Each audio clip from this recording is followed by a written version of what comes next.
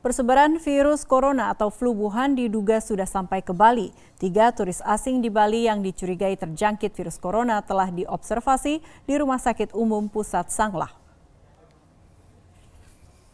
Ketiga turis tersebut diketahui satu orang berasal dari Meksiko dan dua orang berasal dari Tiongkok.